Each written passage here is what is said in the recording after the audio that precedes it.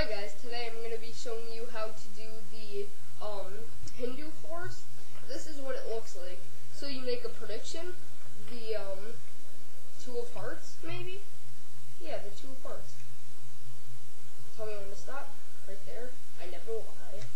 Now I'm going to teach you how to do it. Now the key card is the bottom card. Let's say the two of spades is on the bottom.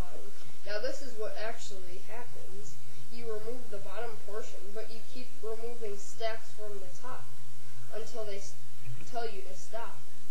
So the two of spades never leaves because you're actually removing things from the top. You make your prediction, two of spades, stop, right there. You never lie. And that is used in some tricks, not most tricks because it's not really a well-known method. It might be with most magicians, but